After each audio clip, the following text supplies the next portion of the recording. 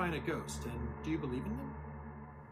My definition of a ghost is perhaps the same as everybody else's the idea that some part of a person's personality or soul hangs around after they've died and is perhaps perceptible to living people.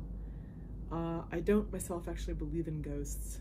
What interests me about the idea of a ghost is that it is so analogous to a to a very very tangible memory often with a will of its own. And that's kind of interesting to me. Have you ever had a paranormal experience? Um, i have never had an experience that could really be described as paranormal what is your favorite ghost story I think my all-time favorite ghost story is probably Beloved by Toni Morrison. That's just such a forceful, amazing, just super powerful, and I don't know, just everything about it is just the consummate ghost story. So, so wonderful. Um, a close second is probably um, The Haunting of Hill House by Shirley Jackson, which is intense and powerful for entirely different reasons, but uh, both of them pack a very strong psychological and spiritual and historical wallop. Do you feel that there are any essential elements to the genre? The defining elements of a ghost story are probably that it somehow involve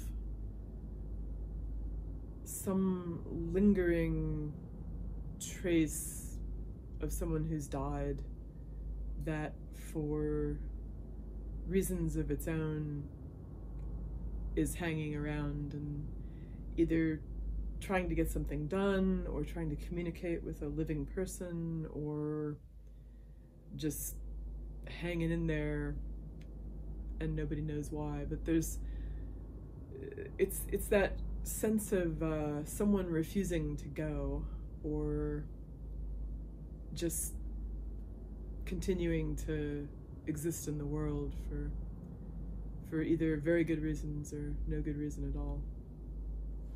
Much of your early body of work drew heavily on symbolism related to spiritualism, death, the body, dreams, transformation, and magic. In an increasingly secular world, how do we reconnect with the spiritual without religion?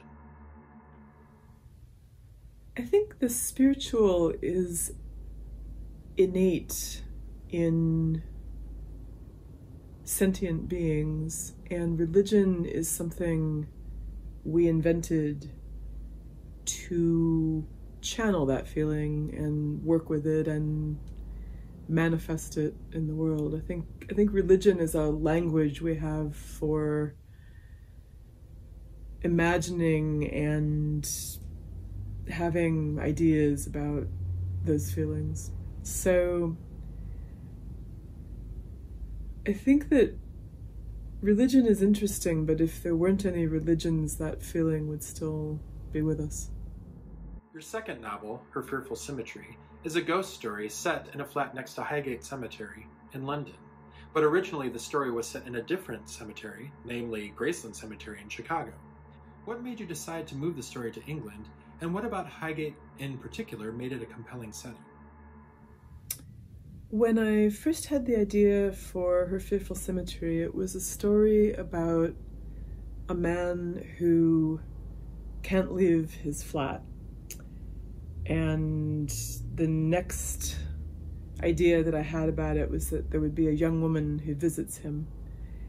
And so I was busily imagining this apartment that uh, Martin would live in. And I was thinking about it being located near Graceland Cemetery and overlooking it and being able to see that out the window. Um, and originally, I had no particular reason for that. It just uh, it just seemed like an interesting thing to to introduce into the eye line of somebody who's stuck at home.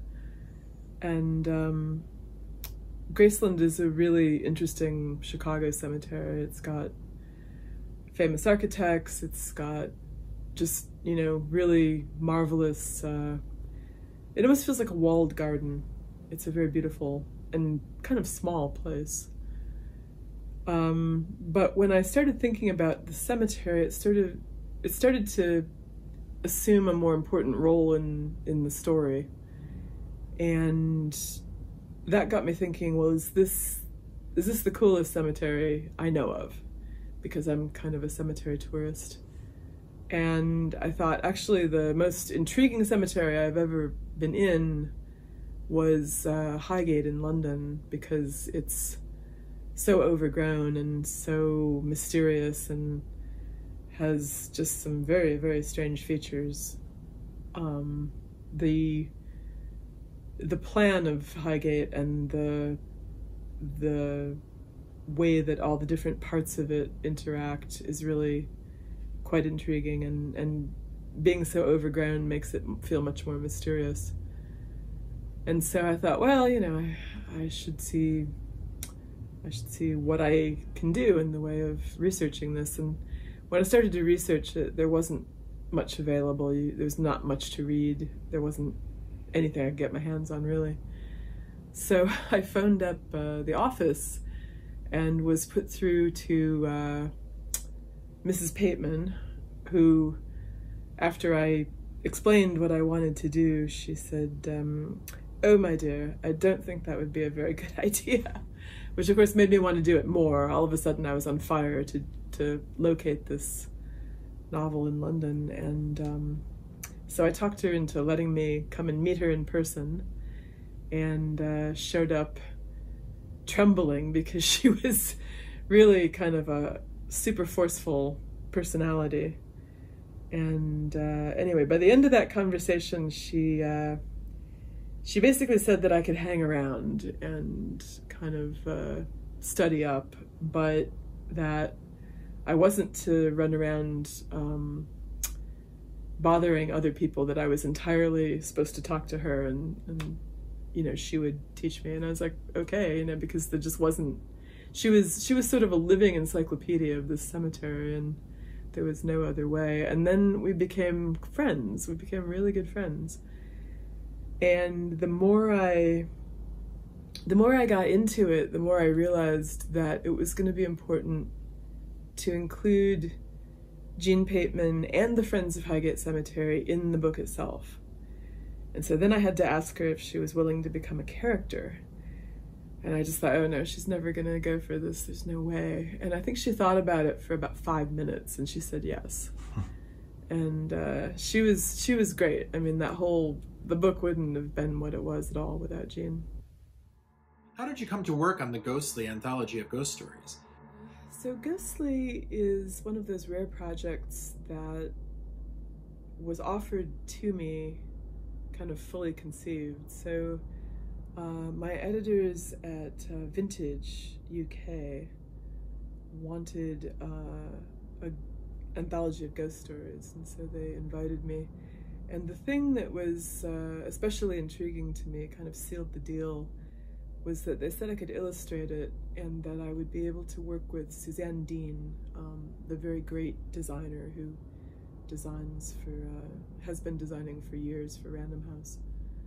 So that was exciting, and they had pre selected a whole bunch of stories, and I was invited to bring my favorites, and so it's it's kind of a um,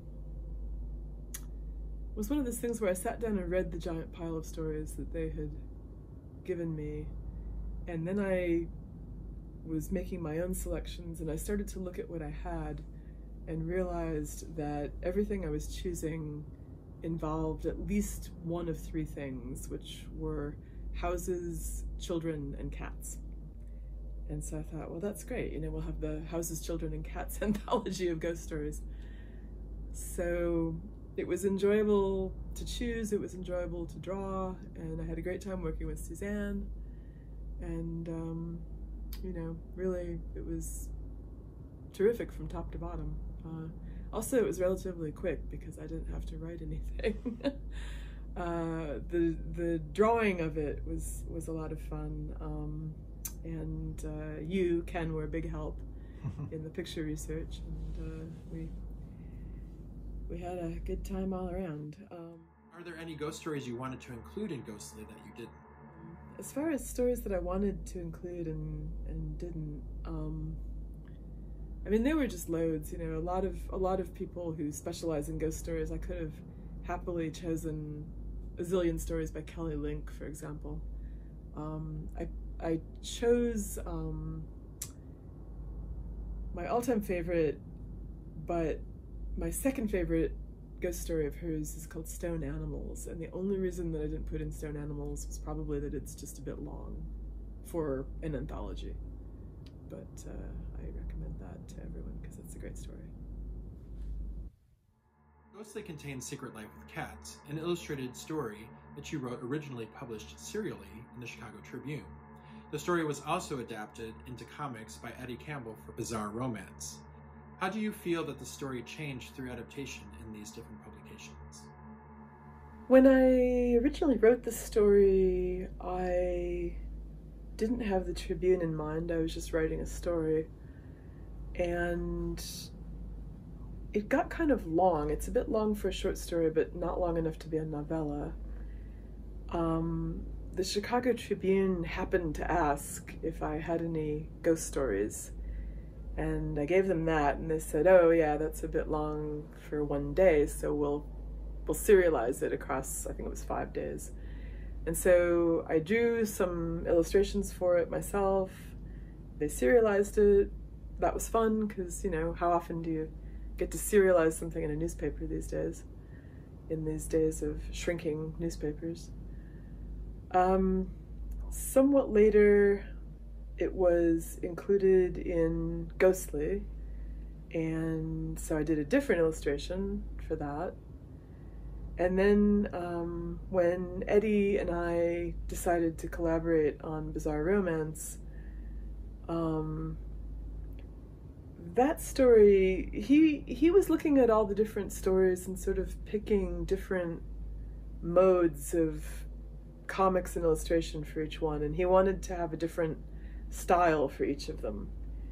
And the illustration for that one was informed by old Reader's Digest condensed books. And I especially like that illustration that he did because it has kind of a there's a very vintage feel to it, and um, both of the main characters in the story. Uh, you can imagine Ruth, who's supposed to be a a woman in her late seventies, probably being somebody who might have actually had Reader's Digest condensed books.